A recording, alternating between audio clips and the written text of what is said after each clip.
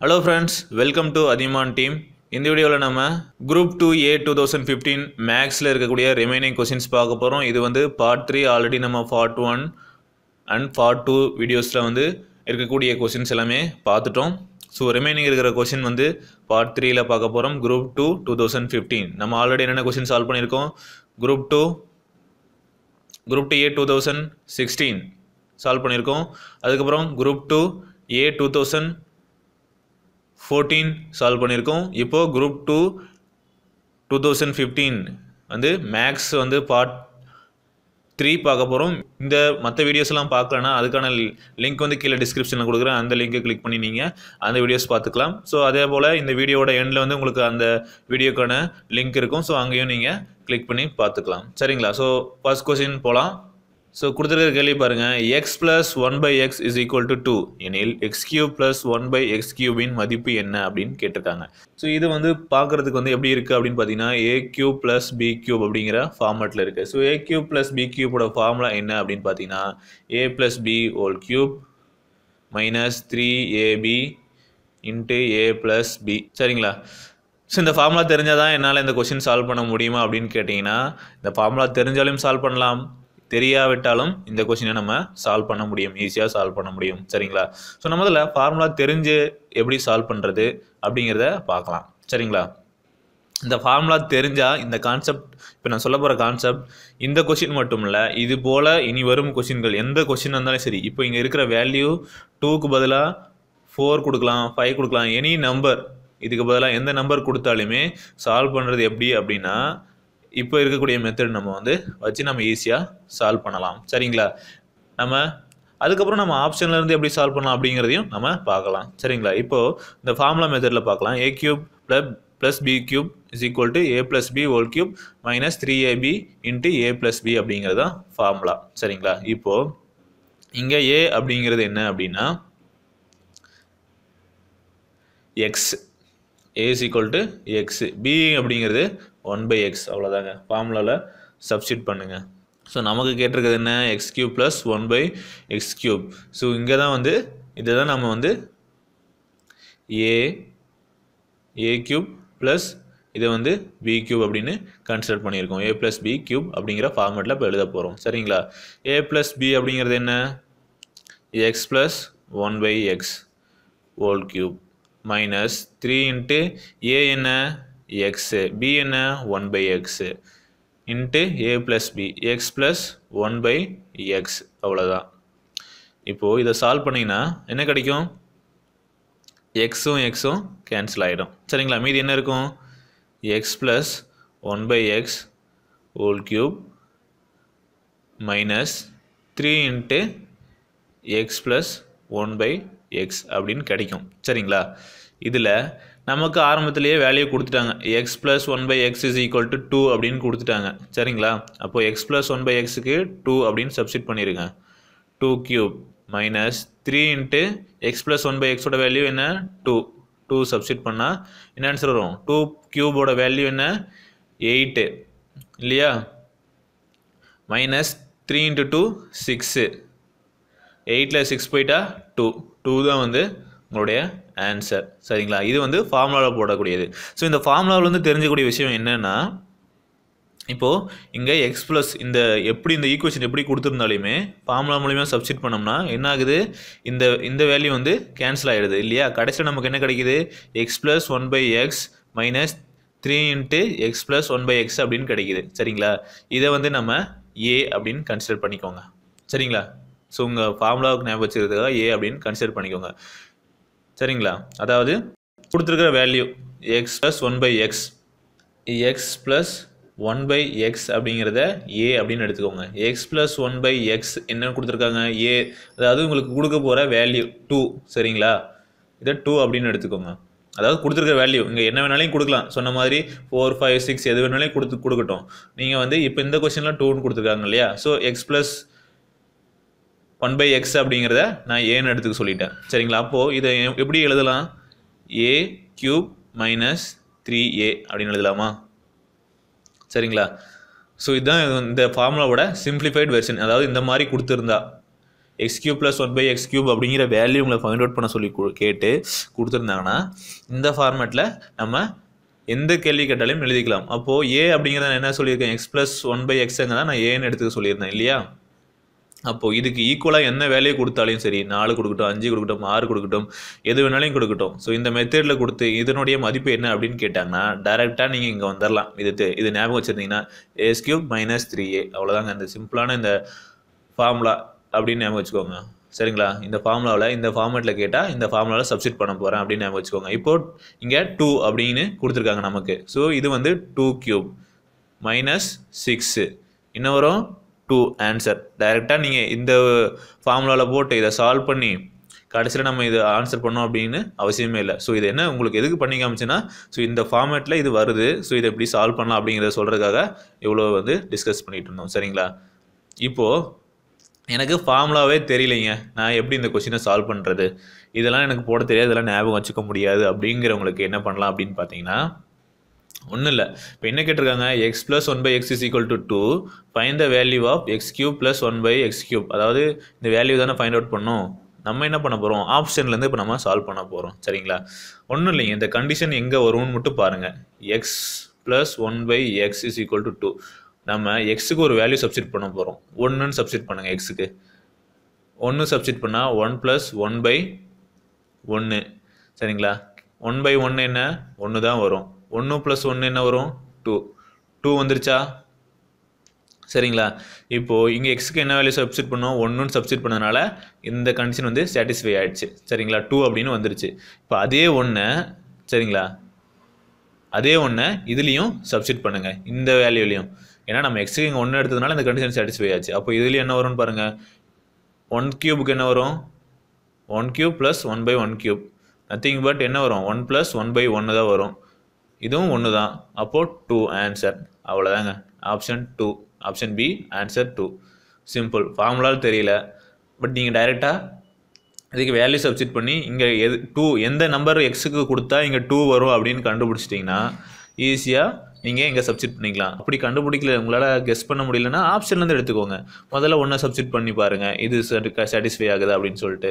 சரிங்களா? அடுத்து ரெண்டு சப்ஸ்டிட் பண்ணி பாருங்கள் இந்த கண்டிஷன் வருதான்னு சொல்லிட்டு. எந்த கொஷின் கேட்டாலையும் இந்த மாதிரி நீங்கள் எக்ஸுக்கான வேல்யூவை ஆப்ஷன்லேருந்து சப்ஸ்டிட் பண்ணி போட்டுட்டு போயிடலாம். சரிங்களா? ஸோ இந்த ரெண்டு மெத்தட் நம்ம பார்த்துருக்கோம். ஒன்று இந்த ஃபார்முலா தெரிஞ்சு பண்ணக்கூடியது. இல்லாட்டி நீங்கள் டைரெக்டாக இந்த ஃபார்முலாவை ஞாபகம் வச்சு ஏ கியூப் மைனஸ் த்ரீ அப்படிங்கிறத ஞாபகம் வச்சு அதுக்கான வேல்யூவை சப்ஸ்டிட் பண்ணி ஆன்சர் பண்ணுறது இல்லாட்டி நீங்கள் இந்த மாதிரி ஆப்ஷனில் இருக்கிற வேல்யூவை கொண்டு போயிட்டு கொஷினில் நீங்கள் சப்ஸ்டிட் பண்ணி ஆன்சரை கொண்டு வருது சரிங்களா? இந்த மாதிரி மூணு மெத்தில் நம்ம வந்து இந்த கொஷினுக்கான ஆன்சரை சால்வ் பண்ணலாம். சரிங்களா? ஸோ அடுத்த கேள்வியை பார்க்கலாம். அடுத்த கேள்வி என்னென்னு பாருங்கள் four by nine comma two by five comma six by eight comma two by ஃபைவின் மீ போ வா என்ன அப்படின்னு கேட்டிருக்காங்க. சரிங்களா? மீப்போவா அப்படின்னு கே- கேட்கும்போது நம்ம என்ன பண்ணுவோம்? மீப்போவாவுக்கு ஃபார்முலா என்ன நம்ம சப்ஸ்டிட் பண்ணுவோம்? அதாவது மேலே இருக்கிற எண்களுக்கு மீ சரிங்களா? கீழே இருக்கிற எண்களுக்கு மீசிமாவும் கண்டுபிடிப்போம். அதாவது நியூமரேட்டர் ஆஃப் அதாவது HCF of numerator divided by LCM of denominator find out பண்ணுவோம். சரிங்களா? ஸோ இதுதான் HCF பின்னத்தில் கொடுக்கக்கூடிய எண்களுக்கு வந்து இதுதான் ஃபார்முலா ஸோ இது நம்ம வந்து எல்சிஎம் மற்றும் ஹெச்சிஎஃப் அப்படிங்கிற வீடியோவில் தெளிவாக நம்ம அஞ்சு பார்ட்டாக இந்த கொஷின்ஸ் எல்லாமே நம்ம சால்வ் பண்ணியிருக்கோம்.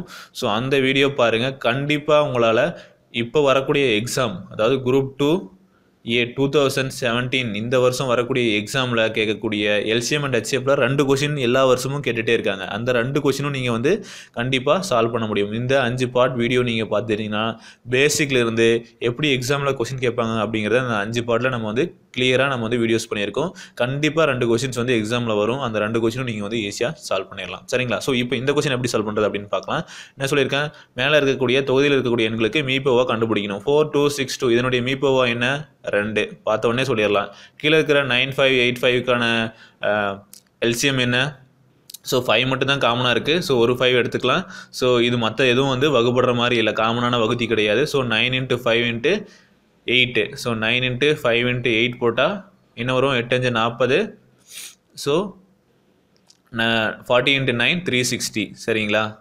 ஸோ இதை சால்வ் பண்ணால் ஒன் பை ஒன் எயிட்டி சரிங்களா? அப்போ option option A answer one by one eighty அப்படிங்கிறது தான் சரியான விடை. சரிங்களா? ஸோ அடுத்த கேள்வி பார்க்கலாம்.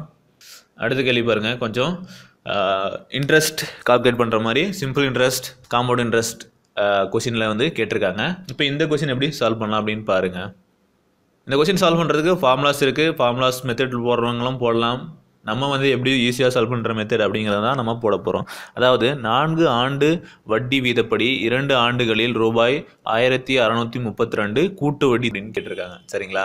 அதாவது நமக்கு அசல் தேவை அவங்க வந்து எத்தனை வருஷம் எத்தனை சதவீதம் எவ்வளோ வட்டி அப்படிங்கிறது எல்லாமே கொடுத்துட்டாங்க. எந்த அசலுக்கு இந்த வட்டி வந்திருக்கும் அப்படின்றதான் கேள்வி. சரிங்களா? உங்களுக்கு கூட்டு வட்டிக்கான கண்டுபிடிக்கிறதுக்கு ஃபார்முலா தெரியலனா கவலையே படாதீங்க. சரிங்களா? சிம்பிள் இன்ட்ரெஸ்ட் சிம்பிள் இன்ட்ரெஸ்ட் தெரிஞ்சால் போதும். காம்பவுண்ட் இன்ட்ரெஸ்ட் ஈஸி சரிங்களா? சிம்பிள் இன்ட்ரெஸ்ட் தெரிஞ்சால் போதும். காம்பவுண்ட் இன்ட்ரெஸ்ட் நம்ம ஈஸியாக பாயிண்ட் அவுட் பண்ணிடலாம். காம்பவுண்ட் இன்ட்ரெஸ்ட்க்கான ஃபார்முலா மெத்தடில் போனீங்கன்னாவே அது ரொம்ப கால்குலேட்டிவாக இருக்கும். ஸோ அந்த மெத்தட் நம்ம யூஸ் பண்ணவே மாட்டோம். சரிங்களா? நான் எப்பயுமே வந்து சிம்பிள் இன்ட்ரெஸ்ட் மட்டும்தான் தெரிஞ்சிருப்பேன். ஸோ அந்த சிம்பிள் இன்ட்ரெஸ்ட்லேருந்து எப்படி நம்ம காம்பவுண்ட் இன்ட்ரெஸ்ட் ஃபைண்ட் அவுட் பண்ணலாம் அப்படிங்கிறத தான் வந்து நம்ம ஈஸியாக பண்ணக்கூடிய மெத்தட் சரிங்களா? ஸோ இப்போ எப்படி பண்ணலாம் அப்படின்னு பார்த்தீங்கன்னா இப்போது நம்ம ஆப்ஷன்லேருந்து எடுத்துக்கலாம். ஆப்ஷன் வச்சு சால்வ் பண்ணுறதும் இருக்குது டைரெக்டாக நம்ம அப்படியே சால்வ் பண்ணுற மெத்தடும் ஃபார்முலா வச்சும் சால்வ் பண்ணுற மெத்தட் இருக்குது நம்ம எப்படி பண்ண போகிறோம்னா இது ஆப்ஷன் வச்சு பண்ணக்கூடியது தான். உங்களுக்கு என்ன சிம்பிள் இன்ட்ரெஸ்ட் எப்படி ஃபைண்ட் அவுட் பண்ணியிருப்பாங்க அப்படிங்கிறதுக்கான ஃபார்முலா தெரியணும் சிம்பிள் இன்ட்ரெஸ்ட் என்ன? பிஎன்ஆர் அப்படிங்கிறது தான் சிம்பிள் இன்ட்ரெஸ்ட் அசலு இயரு ரேட்டு சரிங்களா? ஸோ இது மூணும் தெரிஞ்சிருந்தால் சிம்பிள் இன்ட்ரெஸ்ட் கண்டுபிடிச்சிருக்கலாம். சரிங்களா? இப்போது கொடுத்துருக்குற ஆப்ஷனில் தான் அசல் என்ன இருக்குது அப்படின்னு கொடுத்துருக்காங்க. இல்லையா? முதல்ல நம்ம அசல் வந்து பத்தாயிரரூவா ரூபா அப்படின்னு கன்சிடர் பண்ணிக்கலாம். ஃபஸ்ட் ஆப்ஷனை சூஸ் பண்ணி சால்வ் பண்ண பார்க்கலாம். சரிங்களா? பத்தாயிரம் ரூபாய்க்கு நாலு சதவீதம் வட்டி ரெண்டு வருஷத்துக்கு போட்டிருக்காங்க இல்லையா? ஸோ நம்ம ஒவ்வொரு வருஷமாக கண்டுபிடிக்கலாம். ஒரு வருஷத்துக்கு நாலு சதவீதம் வட்டி போட்டால் எவ்வளோ வரும்? நானூறுரூவா வரும். சரிங்களா? ரெண்டாவது வருஷத்துக்கு வட்டி போட்டால் எவ்வளோ வரும்? இன்னொரு நானூறுரூவா வரும். சரிங்களா? அதை தான் நம்ம இங்கேயே மல் டூன்னு மல்டிப்ளை பண்ணியிருப்போம். ஆனால் ஸ்டெப் பை ஸ்டெப்பாக பண்ணால் நானூறுரூவா மொதல் வருஷத்துக்கும் இன்னொரு வருஷத்துக்கு நானூறுரூவாய் கிடைக்கும். மொத்தம் சிம்பிள் இன்ட்ரெஸ்ட் கால்குலேட் பண்ணால் எட்நூறுரூவா வருங்க. சரிங்களா? இதே காம்பவுண்ட் இன்ட்ரெஸ்ட் இதுக்கு போட்டிருந்தா ஒன்றும் இல்லை. மொதல் வருஷத்துக்கு வட்டிக்கு வட்டி போடுறது தான் காம்பவுண்ட் இன்ட்ரெஸ்ட் இல்லையா? கூட்டு வட்டி அப்படிங்கிறது என்ன? வட்டிக்கு வட்டி போடுறது தான் கூட்டு வட்டி சரிங்களா? மொதல் வருஷம் நானூறுரூவா வந்திருக்கும். ரெண்டாவது வருஷம் ஒரு நானூறுரூவா வந்திருக்கும். ரெண்டாவது வருஷம் கால்குலேட் பண்ணும்போது என்ன பண்ணியிருப்போம்னா மொதல் வருஷத்துக்கு போட்ட நானூறுரூவாய்க்கும் வட்டி போட்டிருப்போம். எவ்வளோ வட்டி போட்டிருப்போம்? நானூறுரூவாய்க்கும் நாலு சதவீதம் வட்டி போட்டிருப்போம் சரிங்களா? அப்படி வட்டி போட்டால் எவ்வளோ வரும்? பதினாறுரூவா உங்களுக்கு வந்திருக்கும். ஸோ மொத்தமாக எவ்வளோ வந்திருக்கும்? மொதல் வருஷத்துக்கு நானூறுரூவா ரெண்டாவது வருஷத்துக்கு நானூறுரூவா அதுக்கப்புறம் நானூறுரூவாய்க்கு ஒரு வட்டி போட்டிருப்பாங்க. அந்த வட்டிக்கு பதினாறுரூவா கிடச்சிருக்கும் மொத்தம் எவ்வளோ எட்நூற்றி பதினாறுரூவா தான் வந்திருக்கும். ஸோ இவ்வளோ கால்குலேட் பண்ணோம்னா கண்டிப்பாக தேவையே இல்லை. ஸோ உங்களுக்கு எக்ஸ்பிளைன் பண்ணுறதுக்காக சொல்லிட்டு இருக்கேன். எட்நூற்றி பதினாறுரூவா அப்படிங்கிறது தெரியும். ஸோ இது நீங்கள் சிம்பிளாக பார்த்த தெரியும். பத்தாயிரரூவாய்க்கு நாலு சதவீதம் வட்டி போட்டால் நானூறுரூவா ரெண்டு வருஷத்துக்கு எட்நூறுரூவா அப்படிங்கிறத இங்கேயே கால்குலேட் பண்ணிடுவீங்க சரிங்களா? இங்கே இருக்கிறது என்னவோ? ஆயிரத்தி அறநூறு. நமக்கு கிடச்சிது பத்தாயிரம் ரூபாய்க்கு கால்குலேட் பண்ணும்போது எட்நூறுவா தான் கிடச்சிது. ஸோ இதனுடைய ரெண்டு மடங்காக இருக்குது ஆயிரத்தி அறநூறு. சிம்பிள் இன்ட்ரெஸ்ட் வச்சு தான் நான் சொல்லிட்டு இருக்கேன். ஆயிரத்தி இரநூறு அப்போ கண்டிப்பாக இதனுடைய ரெண்டு மடங்காக இருந்தால் தான் ஒரு பதினா ஆயிரத்தி அறநூறுவா வட்டி வர மாதிரி இருக்கும். ஸோ இருபதாயிரம் ரூபா அப்படிங்கிறது தான் வந்து சரியான விடையாக இருக்கும். எப்படி சொல்கிறேன் அப்படின்னு பார்த்தீங்கன்னா இருபதாயிரம் ரூபாய் எடுத்துக்கோங்க இப்போ. இருபதாயிரம் ரூபாய்க்கு எதுவும் வட்டி போடுறீங்க அப்படின்னா ஒரு வருஷத்துக்கு எவ்வளோ வரும்? எட்நூறுரூவா வரும். ரெண்டு வருஷத்துக்கு எவ்வளோ வரும்? இன்னொரு எட்நூறுரூவா அடுத்த வருஷத்துக்கு வரும். மொத்தம் எவ்வளோ வரும்? ஆயிரத்தி அறநூறுவா வரும். சரிங்களா? இங்கே இருக்கக்கூடிய இது பார்த்தீங்கன்னா ஆயிரத்தி அறநூற்றி முப்பத்தி ரெண்டு. ஸோ கூட்டு வட்டினா இன்னும் கொஞ்சம் வட்டி இந்த வட்டிக்கு வட்டி போட்டிருப்பாங்க. அது கால்குலேட் பண்ணணுமானா பண்ண தேவையில்ல. பார்த்தோன்னே சொல்லிடலாம். ஓகே இது பக்கத்தில் இருக்குது ஸோ இந்த இருபதாயிரம் அப்படிங்கிறது தான் வந்து ஆன்சர் அப்படின்னு சொல்லிட்டு. இல்லை முப்பதாயிரத்துக்கு போட்டால் வந்துருமோ அப்படின்னு சொல்லிட்டு எக்ஸாக்டாக உங்களுக்கு தெரியல அப்படின்னா முப்பதாயிரத்துக்கு கால்குலேட் பண்ணுங்கள் முப்பதாயிரம் ரூபாய்க்கு நாலு நாலு சதவீதம் வட்டி போட்டால் எவ்வளோ வரும்? மூணாக பன்னெண்டு. ஒரு வருஷத்துக்கு ஆயிரத்தி இரநூறுவா வந்துருச்சு. சிம்பிள் இன்ட்ரெஸ்ட்டுக்கே சரிங்களா? ரெண்டு வருஷத்துக்கு போட்டால் ரெண்டாயிரத்தி நானூறுரூவா வந்துடும் ஸோ முப்பதாயிரம் அப்படிங்கிறது தப்பு. இருபதாயிரம் ரூபா தான் வரும். நீங்கள் எக்ஸாக்டாக இதுதான் நம்பர் வருதா அப்படின்னு செக் பண்ணுன்னா வேணா கால்குலேட் பண்ணி பாருங்க. எட்நூறுவாய்க்கு இன்னொரு கூட்டு வட்டியில் என்ன வரும்? வட்டிக்கு வட்டி போட்டிருப்பாங்க. நாலு சதவீதம் வட்டி போட்டிருப்பாங்க. எட்டுனா முப்பத்தி ரெண்டு. சரிங்களா? இந்த வட்டியை இது கூட ஆட் பண்ணிங்க. ஆயிரத்தி அறநூற்றி முப்பத்தி ரெண்டு. இருக்கா? ஸோ ஆப்ஷன் பி அப்படிங்கிறது தான் சரியான விடை. சரிங்களா? இப்படி தான் சிம்பிளாக சால்வ் பண்ணுவோம். ஸோ இந்த உங்களுக்கு ஒன்றே ஒன்று தெரிஞ்சால் போதும். சிம்பிள் இன்ட்ரெஸ்ட் எப்படி கால்குலேட் பண்ணுவோம் அந்த ஃபார்முலா தெரிஞ்சால் போதும். அதை எவ்வளோ சீக்கிரமாக உங்களால் கால்குலேட் பண்ண முடியும். சரிங்களா? அது தெரிஞ்சால் ஆப்ஷனில் இருந்து ஈஸியாக கண்டுபிடிச்சிடலாம். சரிங்களா? சிம்பிள் இன்ட்ரெஸ்ட் காமன் இன்ட்ரெஸ்ட்டில் கண்டிப்பாக உங்களுக்கு நாலு கொஷின்ஸ் வந்துடும் சரிங்களா? இன்ட்ரெஸ்ட் அப்படிங்கிறது வந்து நாலு கொஷின் வரும். அது சிம்பிள் இன்ட்ரெஸ்ட் கண்டு கண்டுபிடிக்கிறதா இருக்கட்டும் இல்லை காம்பவுண்ட் இன்ட்ரெஸ்ட் கண்டுபிடிக்கிறதா இருக்கட்டும் எந்த இந்த மாதிரியான கொஷின்ஸ் வந்து நாலு கொஷின்ஸ் வந்து எக்ஸாமில் கேட்டுக்கிட்டே இருக்காங்க. சரிங்களா? அதனால் சிம்பிள் இன்ட்ரெஸ்ட் காம்பவுண்ட் இன்ட்ரெஸ்ட் தெளிவாக படிச்சுக்கோங்க. சரிங்களா? அடுத்த கேள்வி பார்க்கலாம். இப்போ பாருங்கள் மோகன் என்பவர் பி என்ற இடத்திலிருந்து புறப்பட்டு மேற்கே இரண்டு மீட்டர் தூரம் செல்கிறார். பின் வலப்பக்கம் திரும்பி மூன்று மீட்டர் தூரம் சென்று இடப்பக்கம் திரும்பி ஐந்து மீட்டர் தூரம் சென்று இறுதியாக இடப்பக்கம் திரும்பி மூன்று மீட்டர் தூரம் சென்று கியூ என்ற இடத்தை அடைந்தார். கியூ என்ற புள்ளி பியிலிருந்து எவ்வளவு தூரத்தில் இருக்கிறது அப்படின்னு கேட்டிருக்காங்க. இது திசைகள் டைரக்ஷன் கொஷின்ஸ் அந்த டைப்பில் இருக்குது சரிங்களா? முதல்ல நமக்கு திசைகள்னால் எப்படி நம்ம கால்குலேட் பண்ணுவோம் அப்படின்னு தெரிஞ்சிருக்கணும். ஸோ திசைகள் so west east north south அதாவது கிழக்கு மேற்கு வடக்கு தெற்கு. ஸோ இது தெரிஞ்சால் நம்ம வந்து இப்போது இந்த கொஷினை நம்ம ப்ரொசீட் பண்ணிடலாம். ஸோ ஃபஸ்ட்டு பாருங்கள் பி என்ற இடத்திலிருந்து ஓகே பி அப்படிங்கிற ஒரு பாயிண்ட்டை கன்சிடர் பண்ணிக்கோங்க. சரிங்களா? இது வந்து பாயிண்ட் பி சரிங்களா? இந்த இடத்திலிருந்து மேற்கே இரண்டு மீட்டர் தூரம் செல்கிறார் மோகன். இங்கிருந்து மேற்கு மேற்கு எந்த பக்கம் இருக்குது இந்த பக்கம். ஸோ மேற்கே இரண்டு மீட்டர் தூரம் செல்கிறார். ஓகே ரெண்டு மீட்டர் போயிட்டார். அங்கிருந்து பின் வலப்பக்கம். இந்த பக்கம் போயிட்டு வலப்பக்கம் எது? இது வலப்பக்கம். சரிங்களா? வலப்பக்கம் திரும்பி மூன்று மீட்டர் போகிறாரு ஓகே மூன்று மீட்டர் போயிட்டாரு. அடுத்து பாருங்கள் இடப்பக்கம் திரும்பி ஐந்து மீட்டர் தூரம் சென்று. ஸோ இப்போ இது வந்து வலப்பக்கம் இது வந்து இடப்பக்கம். ஸோ இப்போது ஐந்து மீட்டர் போயிருப்பாரு. அடுத்து பாருங்கள் இறுதியாக திரும்பி இறுதியாக இடப்பக்கம். ஸோ திரும்பி இடப்பக்கம் திரும்புகிறாரு இப்போ இந்த சைடில் இடப்பக்கம்னா இது இது இடப்பக்கம். ஸோ இந்த பக்கம் திரும்பி திரும்பி மூணு மீட்ரு வராரு. சரிங்களா? அதாவது இங்கே மூணு மீட்டர் போகிறாரு திருப்பி அஞ்சு மீட்டர் போயிட்டு திருப்பி மூணு மீட்டர் அதே வந்துட்டாரு. அப்போது இது வந்து கியூ அப்படிங்கிற பாயிண்ட்டு சரிங்களா? கியூ என்ற புள்ளியிலிருந்து பி என்ற தூர எவ்வளோ தூரத்தில் இருக்குது அப்படின்னு கேட்குறாங்க ஸோ இந்த டிஸ்டன்ஸ் வந்து அஞ்சு மீட்ரு இங்கே இருக்கிறது தான் இங்கேயும் இருக்கும். அஞ்சு மீட்ரு இது ரெண்டு மீட்ரு மொத்தம் எவ்வளோ? ஏழு மீட்ரு சரிங்களா? ஆப்ஷன் சி இவ்வளோதாங்க டைரக்ஷன் கொஷின் திசைகள் மட்டும் கரெக்டாக போட தெரிஞ்சுன்னா போதும். நம்ம ஆன்சர் பண்ணிக்கலாம். ஸோ அடுத்த கேள்வி பாருங்கள் ரிச்சர்ட் என்பவர் ஒரு வரிசையில் முன்னிருந்து பதினைந்தாவது நபராக இருக்கிறார். அவருக்கு பின் முன்னிருப்பவர்களின் எண்ணிக்கை மூன்று மடங்கு என்றால் அவருக்கும் வரிசையில் பின் இருந்து ஏழாவது நிற்கும் நபருக்கும் இடையே எத்தனை நபர்கள் உள்ளனர் அப்படின்னு கேட்டிருக்காங்க. கேள்வி. சரிங்களா? ஒன்றும் இல்லைங்க. இந்த டயக்ராமில் பிக் ரெப்ரசன்ட் பண்ணும் உங்களுக்கு அப்படின்னு பார்த்தீங்கன்னா இந்த கேள்வி என்னென்னா வரிசை. ஸோ ஒரு வரிசை அப்படின்னு எடுத்துக்கோங்க. இந்த வரிசையில் முதல் ஆள் இங்கே நின்றுருக்கிறாரு. கடைசி ஆள் இங்கே இருப்பார். இல்லையா? இப்போது ரிச்சர்ட் அப்படிங்கிறவர் அந்த எங்கே இருக்காருன்னா முன் வரிசையில் அதாவது ஒரு வரிசையில் முன்னிருந்து பதினைந்தாவது இங்கேருந்து பார்த்தீங்கன்னா ஒன்றாவது ஆள் இங்கே இருப்பார். இங்கிருந்து அவர் பதினஞ்சாவது இடத்துல இருக்கார். சரிங்களா? அவருடைய பிளேஸ் பதினஞ்சு. பதினஞ்சாவது நபராக இருக்கார். இப்போது அவருக்கு பின்னாடி அவருக்கு பின் முன்னிருப்பவர்களின் எண்ணிக்கையில் மூன்று மடங்கு என்றால் அவருக்கு பின்னாடி இருக்கக்கூடியவர்கள் என்னென்னா பின்னாடி எவ்வளோ பேர் இருக்காங்கன்னா முன்னிருப்பவர்களின் எண்ணிக்கை. அவருக்கு முன்னாடி எத்தனை பேர் இருக்காங்க? அவர் பதினஞ்சாவது இடத்துல இருக்காரு. அவருக்கு முன்னாடி எத்தனை பேர் இருப்பாங்க அப்போது பதினாலு பேர் அவருக்கு முன்னாடி இருப்பாங்க. சரிங்களா? பதினாலு பேர் ரிச்சர்ட்டுக்கு முன்னாடி நின்றுருப்பாங்க. சரிங்களா? பின்னாடி இருக்கிறவங்களோட எண்ணிக்கை என்னென்னா முன்னாடி இருக்கிறவங்களோட எண்ணிக்கையில் மூன்று மடங்கு. ஸோ பதினாலு இன்ட்டு மூணு. நாற்பத்தி ரெண்டு பேர் அவருக்கு பின்னாடி இருக்காங்க. அப்போ மொத்தம் எத்தனை பேர் இந்த லைனில் நின்றுருப்பாங்க? அப்படிங்கிறது நமக்கு இப்போ தெரிஞ்சாகணும். மொத்தம் எத்தனை பேர் நின்றுருப்பாங்க? நாற்பத்தி ரெண்டு பேர் அவருக்கு பின்னாடி நின்றுருக்கிறாரு. அவங்களுக்கு முன்னாடி பதினாலு பேர் நின்றுருக்காங்க. அவர் ஒருத்தர் சரிங்களா? மொத்தம் எத்தனை பேர்? அதாவது நாற்பத்தி ரெண்டையும் பதினஞ்சையும் ஆட் பண்ணால் சரி. சரிங்களா?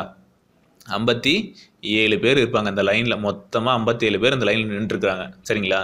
இப்போது அடுத்த லைன் பாருங்கள் கொஷினில் அவருக்கு வரி அவருக்கும் வரிசையில் பின்னிருந்து ஏழாவது ந- நிற்கும் நபருக்கும் இடையே எத்தனை நபர்கள் உள்ளனர் அப்படின்னு கேட்குறாங்க இப்போ கடைசியாக ஒருத்தர் இருக்கார் இல்லையா? இது வந்து ஐம்பத்தி ஏழாவது நிற்கிறார் இவர் லைனில் இவருக்கும் பின்னிருந்து ஏழாவது நபருக்கும் இந்த கடைசியிலிருந்து ஏழாவதாக ஒருத்தர் நின்றுருக்கிறார். இங்கிருந்து ஏழாவதாக ஒரு ஒருத்தர் நின்றுருக்கிறார். சரிங்களா?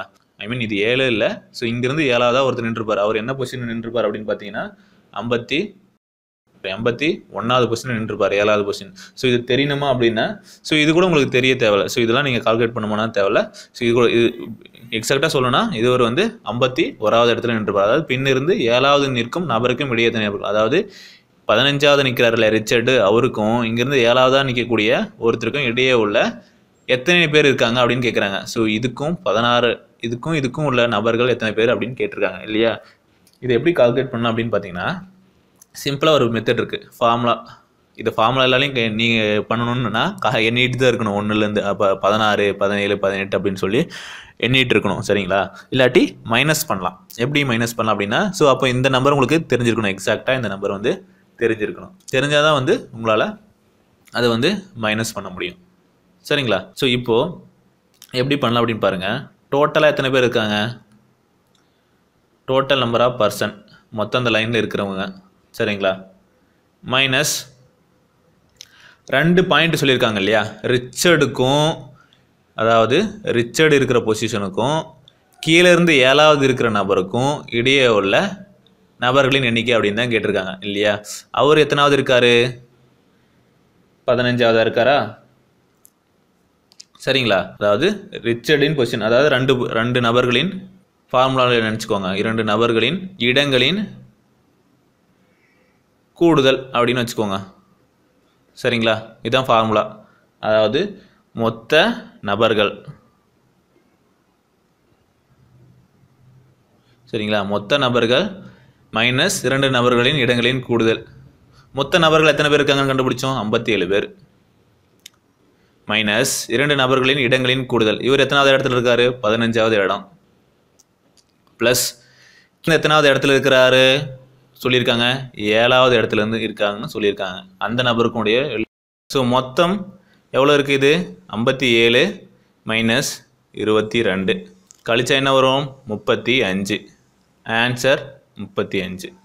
சரிங்களா? இப்படி தான் வந்து இந்த கொஷின் நம்ம சால்வ் பண்ணுவோம். இந்த மாதிரி இரண்டு நபர்களுக்கு இடைய நபர்களின் எண்ணிக்கை அப்படின்னு கேட்டாங்க.